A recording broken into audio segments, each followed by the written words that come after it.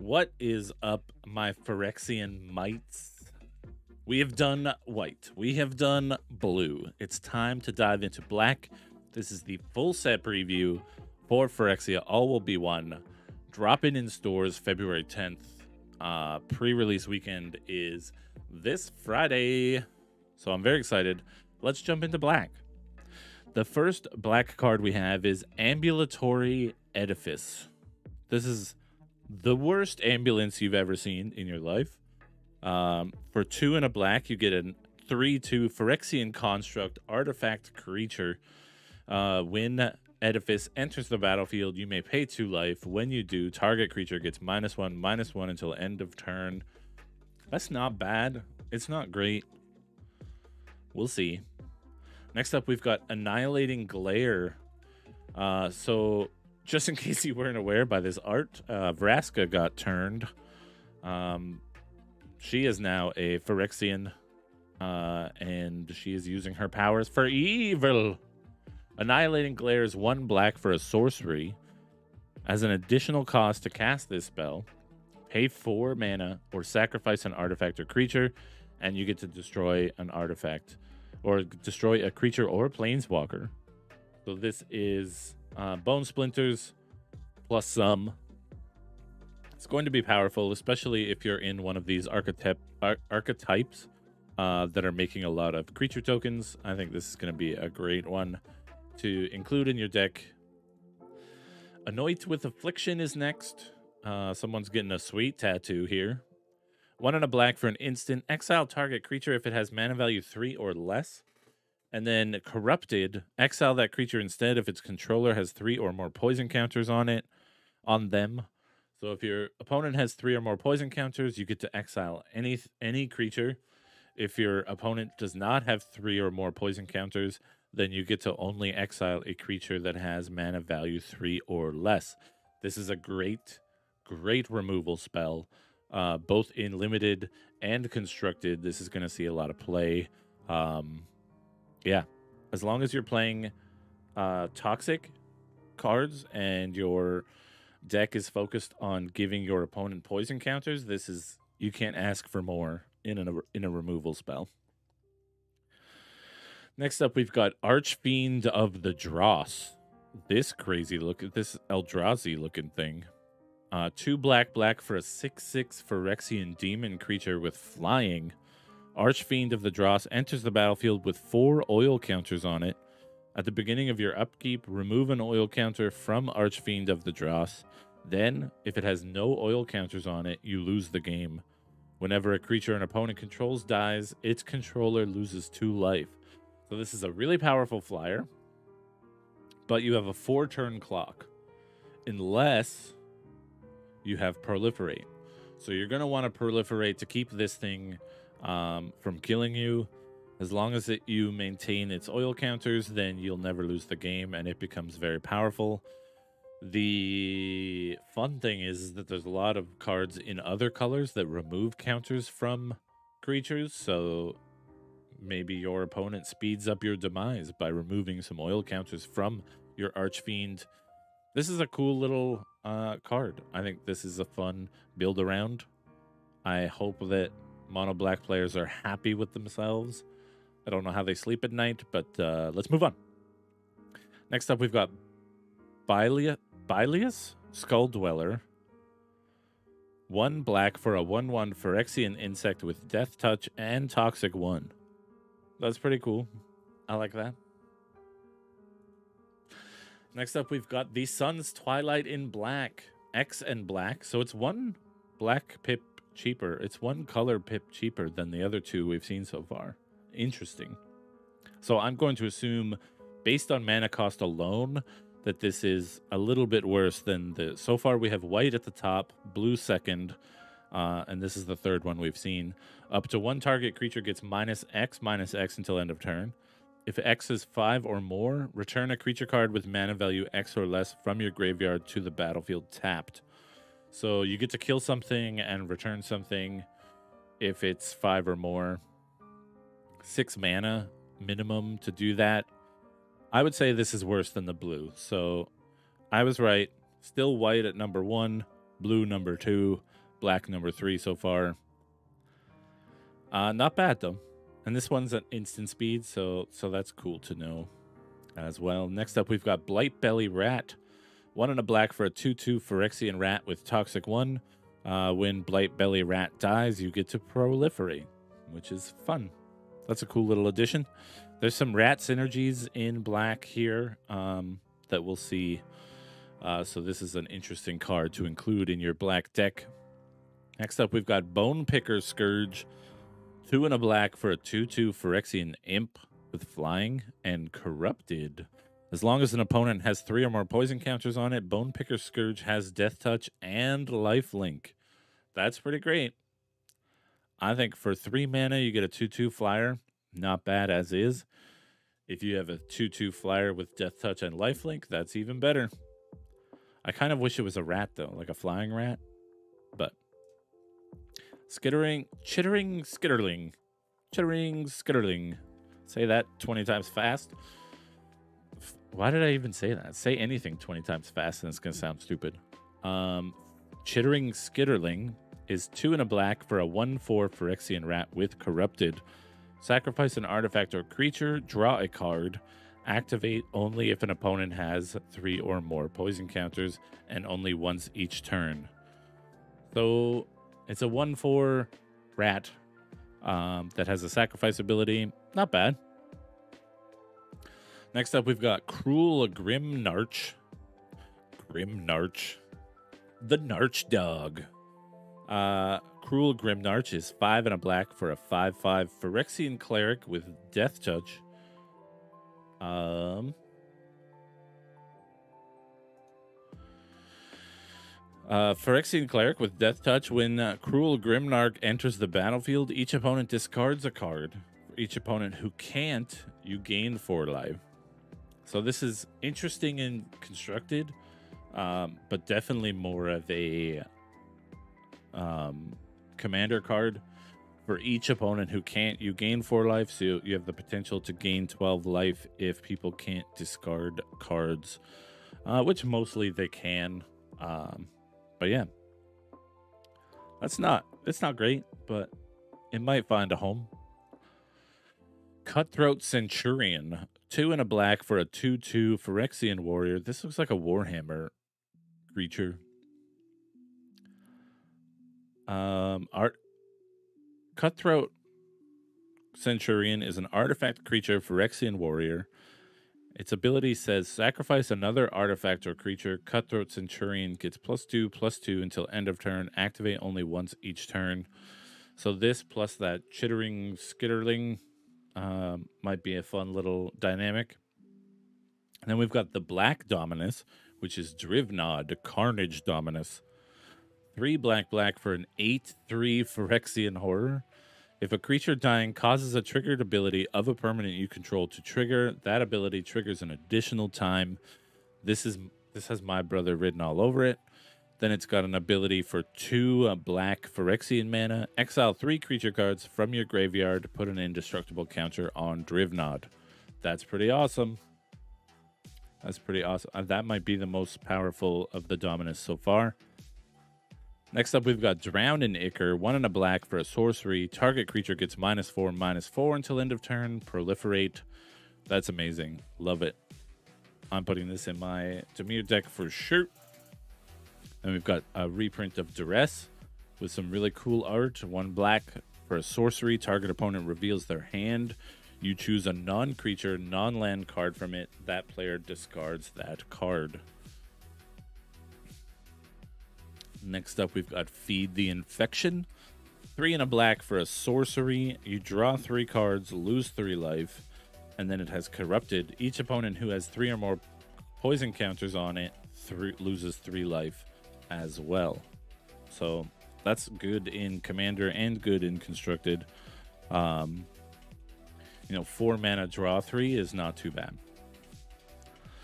Then we've got Fleshless Gladiator. One in a black for a 2 2 Phyrexian Skeleton with Corrupted. For two in a black, you can return Fleshless Gladiator from your graveyard to the battlefield tapped. You lose one life. Activate only if your opponent has three or more poison counters on it. that's pretty cool. It's um you know, there's a long history of skeletons that return from the graveyard, zombies that return from the graveyard, and this is just a new version of it. I like it. Then we've got Geth, Thane of Contracts.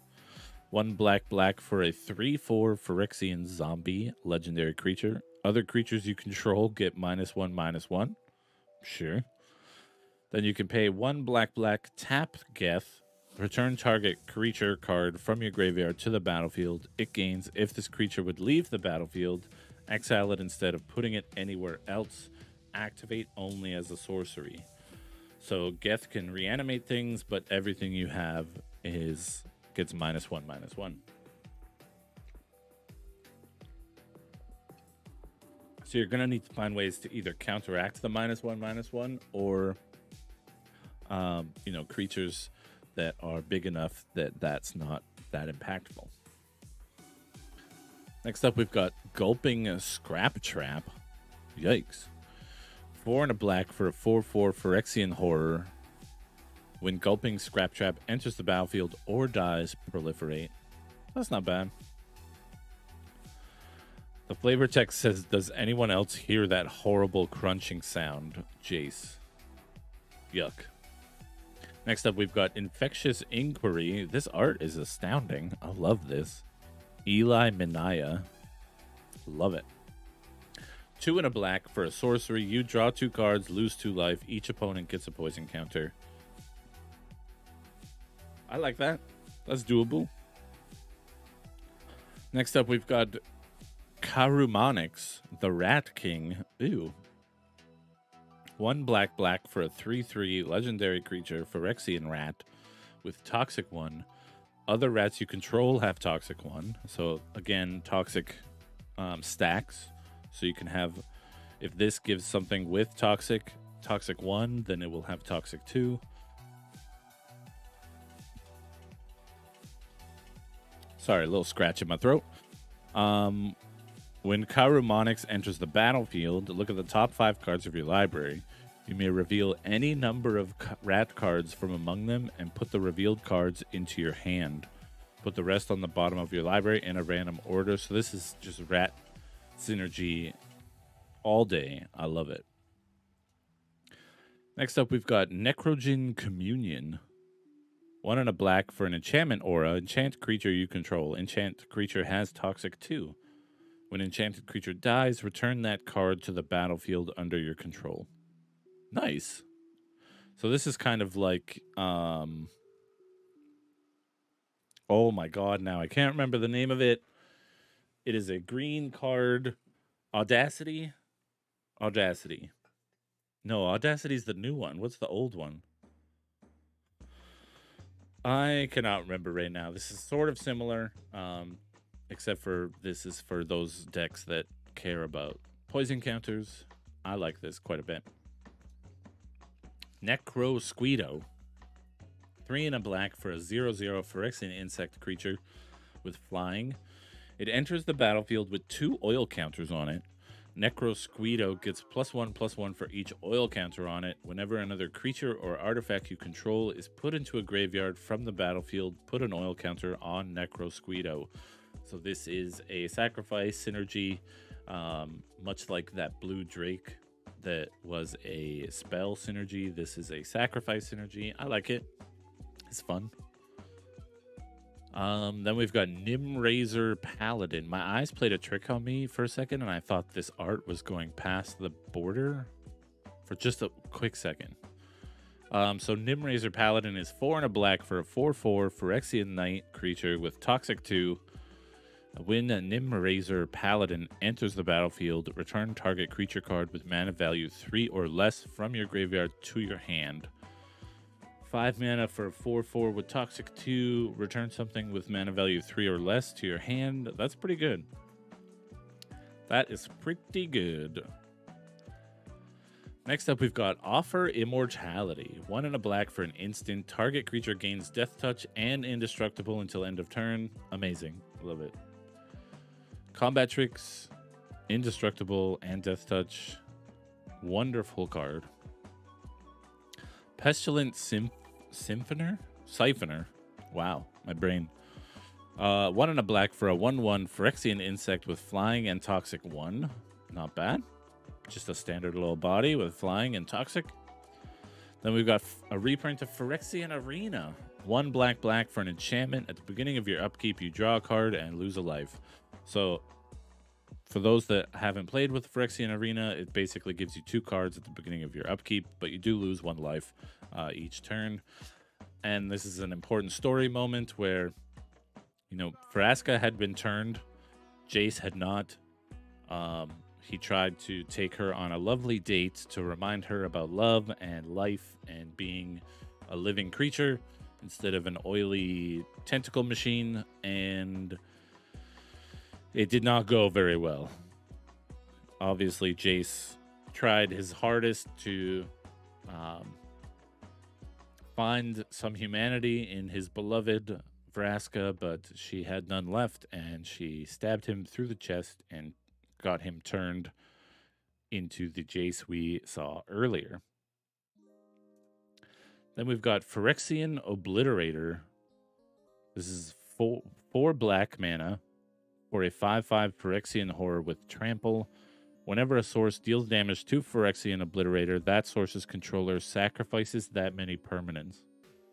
So this four colored mana cycle uh, is really deadly.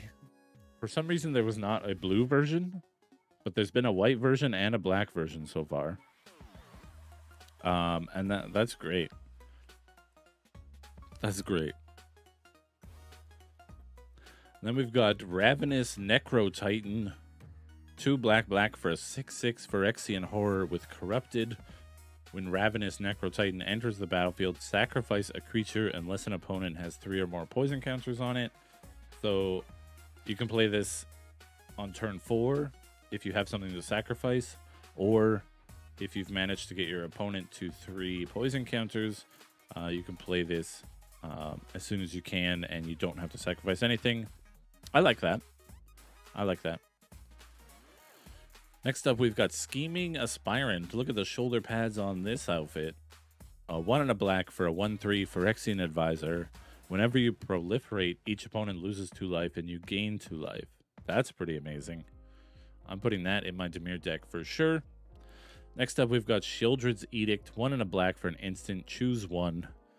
Edicts are pretty powerful spells generally.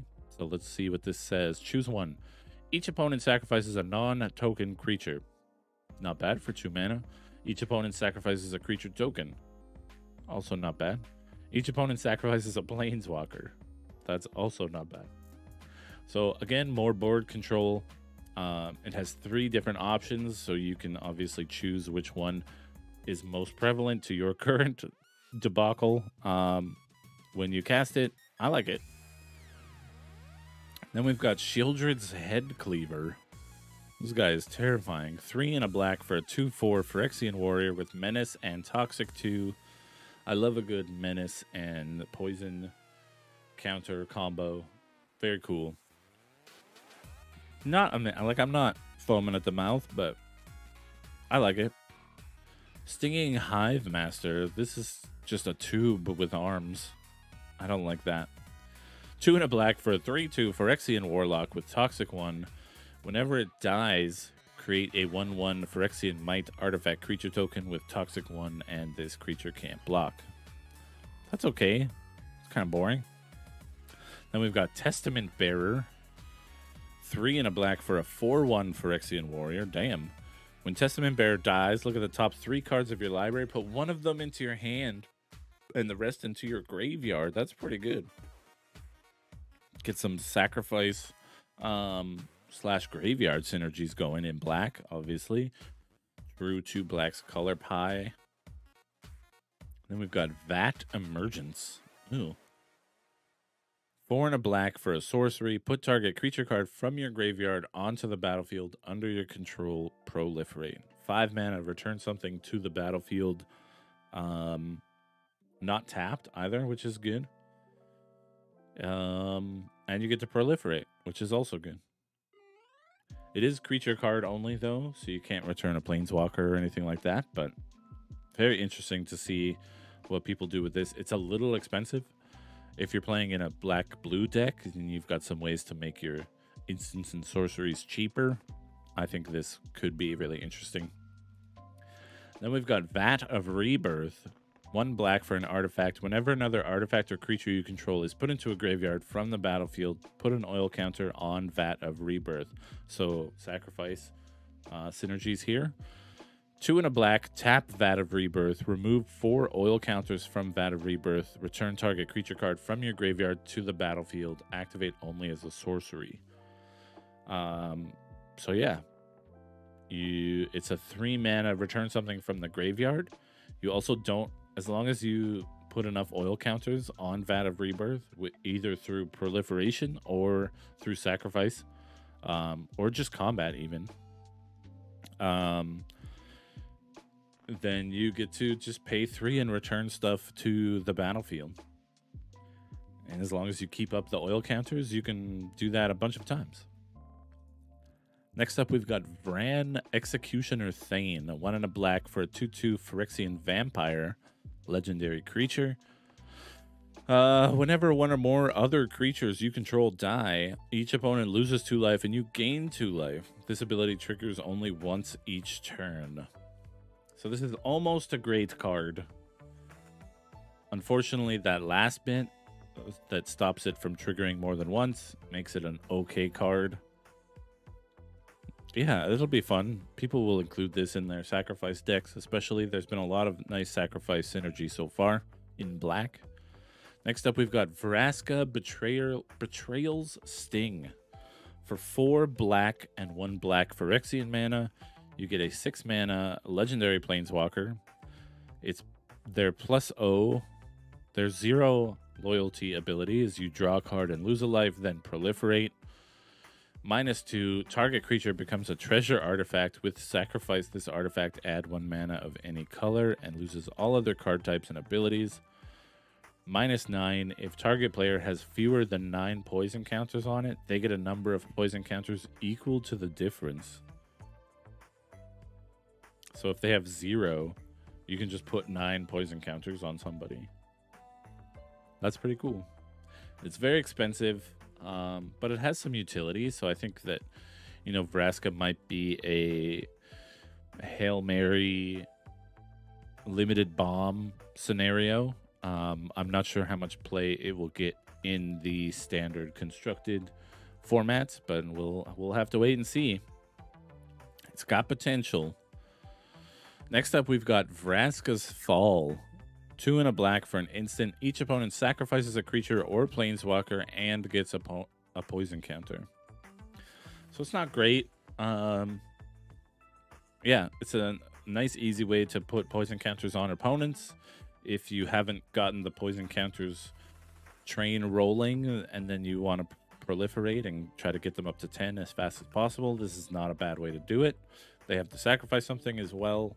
Um, you know, it's okay. I might include one of these in a constructed deck. Um, yeah, I would include. I would include this in a limited deck for sure. Maybe one of them in a constructed deck. And then finally for black, we've got Whisper of the Dross. One black for an instant. Target creature gets minus one, minus one until end of turn, then proliferate. It's a nice, cheap removal spell uh, with the added benefit of having proliferate on it, which is fantastic. Um, as far as black goes, I think there's a lot of Drown in Ichor is going to probably be my favorite card in black. Um, Annihilating Glare is also pretty good. I like to play just control stuff, so I'm looking at, at at, those types of cards. I'm not an aristocrats guy. I'm not a sacrifice guy. Um, you know, duress, drown, and ichor. Those are my kind of things. Um, you know, there's a lot of cool tools in here for people who play black often, um, who lean more into the black side of the color pie. Uh, I use black more as an a complementary color to what I normally use, which is blue. If I could just play mono blue decks, uh, I would. I play mono blue mostly in standard, so having the ability to kind of trick trickle in some black here and there to supplement and complement what I'm doing in blue is always good. So that's kind of where my brain always falls when I'm looking at these black sets. Um, I think Vran is very exciting. Vraska is also very cool. They also got Phyrexian Obliterator, um, which is, I believe, a reprint. Um, but there's this four colored pip series so far. We've got one in white, and I don't think there was one in blue.